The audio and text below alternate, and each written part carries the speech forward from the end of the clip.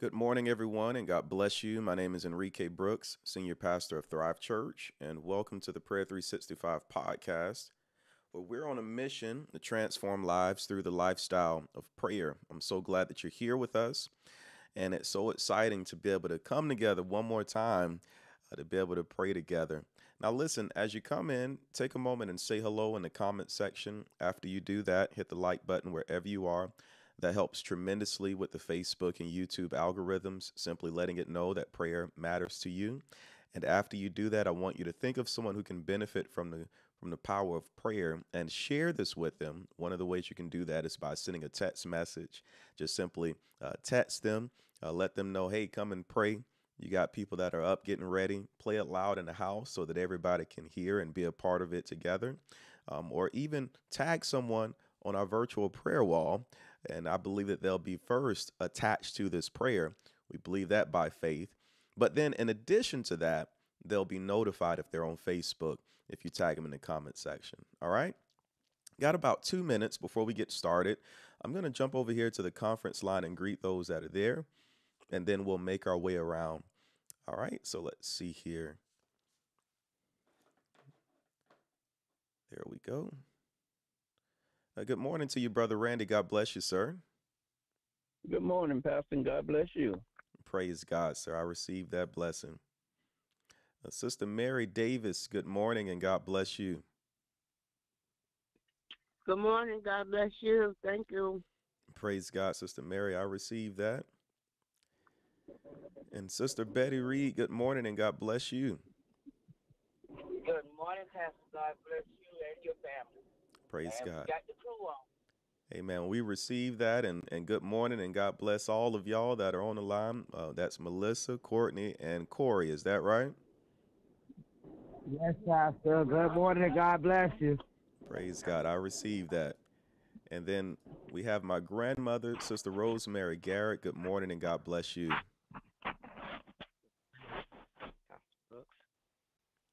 Amen. God bless you and my family. Praise God. you.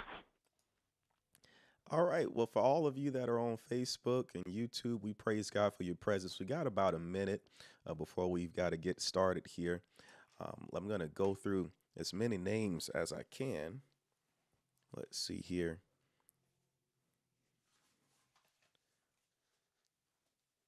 All right. I just needed to make sure that I had my had my Bible prepared as well. Uh, but let's go through as many names as we can here. Um, first thing first, I see my beautiful bride, First Lady Chanel Brooks. Um, we give God praise for her. Um, that's that's my good thing, y'all. Sister Christina Maria Perkins, God bless you. Uh, Sister Metris and Brother Marrance, God bless you in the Wingfield household. Uh, Sister Vivian Morgan, God bless you and Brother Terry. Sister Marcy Kova, blessings to you and Brother Demetrius. Uh, Sister Margot Pittman, God bless you. Sister Takara Glover Henderson, God bless you. Sister Amanda Flowers, blessings to you. Uh, Sister Lena Arterberry, God bless you. Sister Bonnie White, we praise God for you. Brother Curtis Johnson, blessings to you, sir. Uh, my mom and my dad, Elder Marion and Deacon Derek Clark, God bless you both. Sister Denise Andrews Graham, God bless you. Brother Jermaine Lately, blessings to you. Uh, Brother Victor Askew, God bless you, sir. Brother Terry and Sister Connie Johnson, God bless you both. Sister Shangria Maynard, God bless you. Um, one of our newest members of, the, of Thryve Church, we praise God for her, as well as her daughters. And uh, Sister Novella Dwight, God bless you. Brother Marquez Smith, blessings to you, sir, and your family. Sister Wanda Wright Walker, God bless you. Sister Bernadette Demps Jackson, blessings to you. All right, we've got to prepare to get started. But Sister Evelyn Davis, God bless you. Um, let's see here. Sister Beverly Wright Brinson, God bless you. Sister Dee Dee, blessings to you and Brother James. Sister Sister Rena, I almost said Renee. Sister Rena Prater Smith, God bless you. Sister Priscilla Grimes, blessings to you. Mother Rosa, uh, we praise God for your presence. Uh, let's see here. Sister Alma Thomas, God bless you. Brother Curtis Ferguson, blessings to you, sir. Uh, Brother Gregory Moore, I believe that's possibly my brother. Uh, perhaps, maybe they're playing it in the house. I'm not sure, but God bless you. And uh, Sister Tawana Brooks, God bless you. And to all of you, I receive every one of those blessings. Amen. Okay, it's time for us to get started. Uh, so let's go ahead and, and, and, and press right on in, brothers and sisters. Grab your Bible. I want you to flip with me to uh, the 24th chapter. Excuse me. Let's see here. We're actually in the 26th chapter, rather, 26th chapter of Matthew. And we're looking at verses 36 through 39. Again, that's Matthew chapter 6, chapter 26. Got to get that right. Matthew chapter 26, verses 36 through 39. All right. Let's read. It says, Then Jesus came with them to a place called Gethsemane and said to the disciples, Sit here while I go and pray over there. And he took with him Peter and the two sons of Zebedee, and he began to be sorrowful and deeply distressed. Then he said to them, My soul is exceedingly sorrowful, even to death. Stay here and watch with me. He went a little farther and fell on his face and prayed, saying, Oh, my father, if it is possible, let this cup pass from me. Nevertheless, not as I will, but as you will. That's Matthew chapter 26, verses 36 through 39 out of the New King James Version. Good morning to all of you, thriving people of God. My name is Enrique Brooks, senior pastor of Thryve Church and the host of the Prayer 365 podcast. I'm so glad to have each of you here today on this Testimony Tuesday. Amen. On Tuesdays, we take a moment and we tell on Jesus. We talk about his goodness. We say and tell somebody of what the Lord has done for us. If you have a testimony uh, that you've been burning up to share, I want you to put that in the comment section, whatever it may be. Um, it, it, doesn't matter how large or how small you may consider it to be. Um, if it's a testimony of what God did, it is significant. And I encourage you to put that in the comment section at this time. Amen. Well, brothers and sisters, um, we're going to um, proceed on into our devotional momentarily. But before we do that, I do want to uh, announce a couple of things. Um, first thing first, on September 11th, which is the second Sunday in the month of September, uh, we are going to have or, or do perform baptisms uh, that Sunday morning during our Sunday worship service. If you desire to be baptized, I do encourage you to take the time to sign up. Um, go to thryve.church forward slash connect. That's thryve.church forward slash connect. Go and uh, register to be baptized. Just simply sign up. That way we can have you identified and make sure that you are um, that you're fully prepared uh, for the baptism service on September 11th. So again, go to our Connect page, our Connect Center online, thryve.church forward slash connect. If you have the Thryve uh, app, and that's Thryve with a Y, T H R Y V E. If you have the Thryve app, hit the Connect tab at the bottom right corner, and you'll see on there, uh, I want to be baptized. All right. Uh, go ahead and do that and that way we have you prepared. In addition to that, I, do want to extend an invitation to you to join us on our Sunday worship experience this upcoming Sunday. Um, we're continuing this series titled Raising Kingdom Kids. And I believe that something special is happening in this series. Um, the messages, I believe, are actually impacting the entire family. We're being intentional about our children, about our youth. We're not just raising uh, another generation of, of babies. No, we're raising kingdom kids. And therefore, we're referring to them as uh, young kings and young queens because we want them to know their significance in the kingdom of God. Amen. Well, uh, let's go ahead and, and press on forward. and we're going to uh, step into this devotional uh, for this morning. I'm keeping my eyes open for any testimonies uh, that are being lifted in the comment section. You still have an opportunity to do that. Um, but we do have here uh, Sister Margot. She expresses that you said that you're still in the hospital, but you're keeping your faith, said that the Lord is keeping you safe. Sister Margot, we praise God for that, Sister Margot. And we're going to continue to keep you lifted in prayer. Amen. We're gonna we're gonna pray this thing through and pray God, uh, pray to the Lord for your total restoration. Amen. All right, let's go ahead and get into our devotional. Uh, this week, we're in a theme titled The Garden of Becoming. The Garden of Becoming. I want you to say that aloud.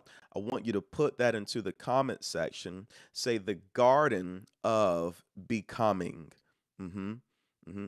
Yeah, yeah, yeah. The the picture in the background behind me, uh, and I'm not saying literally in the room, but on the screen, uh, that is a picture of what's believed to be the Garden of Gethsemane.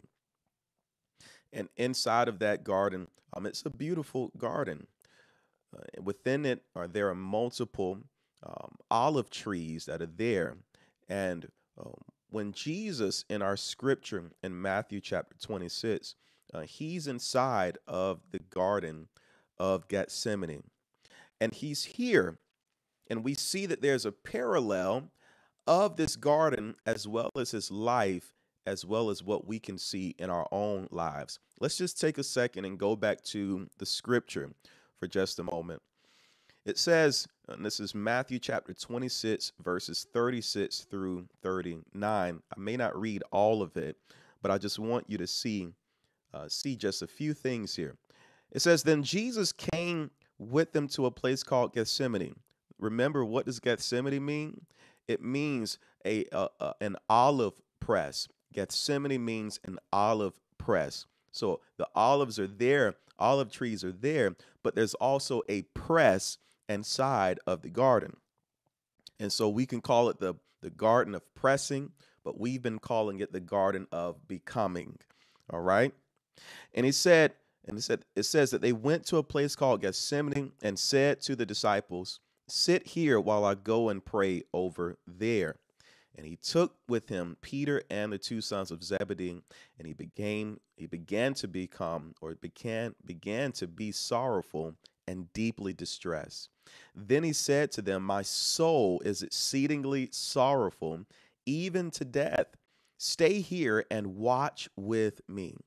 And he went a little further and fell on his face, fell on his face and prayed, saying, Oh, my father, if it is possible, let this cup pass from me.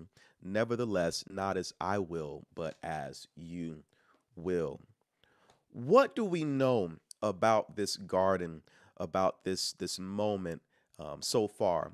Yesterday, we talked about how Jesus was here. This is the last place that he was at before he began on the road to the cross.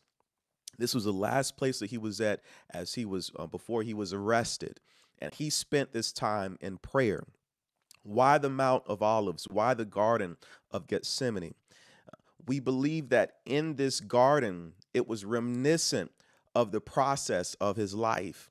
And what we discover is that um, even with the olive, uh, there are uh, there are five processes that the olive goes through in order for the oil uh, to be used, so to speak. And so the number one thing we said yesterday is that it has to grow. And so growing is the first step. Today we're going to talk about the harvesting. And tomorrow we're going to go a step further and we're going to talk about we're going to talk about the crushing and then we find that there's also the pressing and then the offering. And so, uh, but today, let's bring it back here. We're going to talk about the harvest, uh, harvesting, the harvesting. Uh, what we find is that Jesus, he's been grown for this moment, but now it's time for him to be used. It's time for him to go uh, to begin this process of of the crucifixion to begin this process of being sacrificed. And so, before he's able to actually um, before he's able to make it to the cross, first he's had to be harvested. Uh, what does harvesting mean for the olive? The olive is grown on the trees, but it can't be harvested at any time. It has to be harvested at the right time. For the olive, that's between November and December. Uh, olive trees normally are ready to be harvested between November and December of the year. What you'll realize is that the same is true about Jesus. Jesus wouldn't allow himself to be captured until it was the right time. For him, it was a, it was Passover was the right time. So we find that the season has come. His time has come, and it's time for him to be offered as a living sacrifice for each of us. Now, when you talk about ourselves, brothers and sisters, I want you to know that you are also in a garden. We are in a garden, and God is the master gardener. Yes, He is. Scripture teaches us from Genesis that God is a gardener. And then Jesus comes and lets us know that He is a gardener. Yes, yes. And so the gardener, He knows the right timing to pull the fruit from the tree. And so, what I want you to know is that number one, you've been chosen. I want you to say that number one, you've been chosen, brothers and sisters. You've been chosen for this moment. When the gardener goes out for the harvest, he has to choose the ones that are ready. You've been chosen for this season. You've been chosen for this moment of pressing and crushing. You've been chosen to be used as an offering, as a sacrifice, so that the oil could flow from your life. Somebody say, I've been chosen. Hallelujah. Yeah, yeah, yeah. You've been chosen. But not only that, you were ready. Hallelujah. That's number two. Number one, you've been chosen. Number two, you were ready. I know you may argue to say, I was not ready. Sounding like Kevin Hart. I wasn't ready. No, no, you are ready. You may not believe it, but God would not have chosen you if you weren't ready. He would not have selected you if you weren't ready. You were ready for this moment. I know that it was uncomfortable, as even Sister Vivian mentioned, and we're going to talk about that in just a moment. I'm going to pull up her testimony in just a moment. But but there's a great sense of discomfort on the on the behalf of the fruit when it's removed from the tree. Think about this. Uh, this this fruit or this olive has spent this season growing slowly and it's become comfortable with that location. It's become comfortable with all of the other olives. Hey how you doing olive? How you doing? How you doing olive green? How you doing? That's that's actually somebody's name. Uh, how you doing over there? Or oliver i, I would say rather. Uh, uh here it is. Uh, they're just they're just comfortable in that spot and then suddenly, uh, here comes the gardener or the workers being sent by the gardener and says, All right, it's time for you to come off. And, you, and, and he pulls and says, Oh, oh, what do you mean? It's time for me to come off. Uh, number one, that was painful. You pulled me from my place of comfort. Remember what's necessary for following Jesus? You got to deny yourself pick up your cross and follow him, that means you got to leave your place of comfort. And so this olive goes through a season of disorientation. It's saying, You're taking me to a place that I've never seen before. You've put me in a position that I've never seen before. The same is true about you. How many of you right now, you feel like I've never been in this place before? God, what is going on? Where am I? I want you to know that it's harvest time. You were chosen because you were ready. And I want to pray for you because I want you to know that this season is intentional. No, what you've experienced and the hardship that you've experienced, it was not caused by God. But I want you to know that it was allowed by God because He's using it to prepare you to release the oil from your life and to get glory from your life. Now, Father, uh, Father, before we even pray, I, I got to share this testimony because I saw it pop up, and then we're going to pray. Uh, let's see here, Sister Vivian. Sister Vivian Merritt or Morgan, she says that uh, you've been saying that we have to become uncomfortable to get out of the normal. She said, I was invited to my first stakeholders meeting. And she said, I'm thinking, what do I have to offer my offer to my job about that um, that could be beneficial? And God said, Vivian, why not you? As I attended the meeting, being in my un- uncomfortable mindset, but by the end of the meeting, I felt that I felt that all was leading in the decision felt that all that was leading in the decision making out of my group of chosen out of my group of chosen and i knew then that it was by god's grace that he was um, that he was always there leading me before i entered the door so get comfortable with being uncomfortable because that is where the faith uh, where the growth is I'm going to say that again. So get comfortable with being uncomfortable because that is where the growth is. Thank you, Father God, for testing me. My Lord, uh, I thank you for sharing that. I thank you for sharing that, uh, Sister Vivian. Uh, that's powerful. And I'm excited about that transition. I'm excited that God has moved you to a place of discomfort. It sounds to me like you got harvested.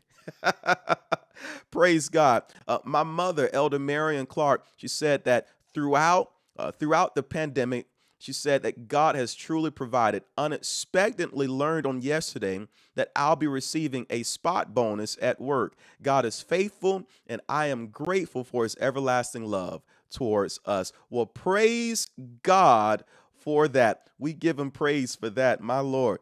Oh, yeah. Oh, yeah. Sister Rena, that's right. It's harvest time.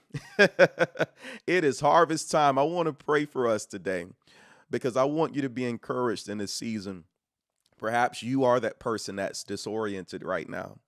You're the person that feels very uncomfortable in this moment. It's okay. You're in the hand of the gardener. The gardener has you in the place that he wants you to be because he's preparing to get glory out of your life. Let's pray. Father, we honor you on this testimony Tuesday. Father, we we came today to exalt your name. Father, to magnify you, to glorify you, and Father, to bless you because, Lord, you are worthy Father, you are worthy of our glory. You are worthy of our praise. You are worthy of the honor. Father, we stand in awe of your majesty. We stand in awe of your grace, of your greatness, Father. We stand in awe of you, Father. You are the great and mighty God. You are Jehovah. Hallelujah. You are Jehovah Rapha. You are Jehovah Nisi. You are Jehovah Shalom. You are Elohim. Father, we bless you today.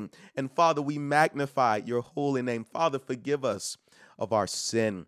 Father, there's somewhere that I fell short, something I did, something I said, probably even out of response to being disoriented. Father, even out of response to being made uncomfortable. And Father, I ask you to forgive me and to cleanse me of all unrighteousness and make me right in your presence, Lord.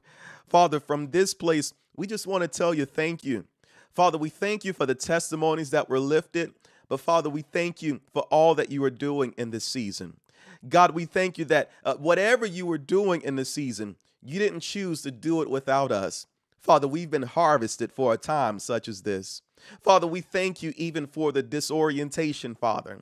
I pray for my brother and my sister that God that they would that they would find a peace in this transition that Father, that they would find a peace in being held in your hands, that they would find a peace in knowing that God, we can trust you through this process. Because as the gardener, you know the value that's hidden on the inside of us. You know the oil that can be released from our lives Father, if we would be removed from where we were comfortable.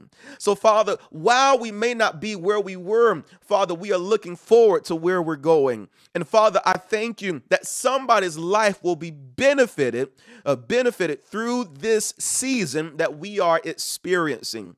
And Lord, I pray for courage. I pray for strength. I pray that, Lord, that they will have the power to continue, Father. And Lord, as we close out this prayer, we lift up, Father, Sister Margot Pittman.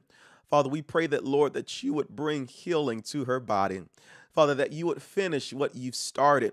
Father, she is faithful. Father, she loves you, Lord. And Father, she trusts you. She even said, Thank you for keeping her safe. Father, we thank you, Lord, for keeping her safe. And Father, we believe that God, that you'll finish the work and that Father, she'll make her way back home, Father. And God, we thank you for it, Lord. And Lord, closing this, we say we pray the way that our Lord and Savior Jesus taught us to pray, and we say, Our Father who is in heaven. Holy is your name, thy kingdom come, thy will be done in earth as it is in heaven. Give us this day our daily bread, and forgive us our debts as we forgive our debtors. Lead us not into temptation, but deliver us from all evil. For yours is the kingdom, the power, and the glory forever. And all of God's children say, Amen. God bless all of you. My name is Enrique Brooks, Senior Pastor of Thryve Church. I love you. God bless you. Remember, it's harvest time. Uh, this is the harvesting. You were chosen because you were ready, and God's going to get glory out of your life. God bless you. I'll see you tomorrow at the same time. Take care. Bye bye.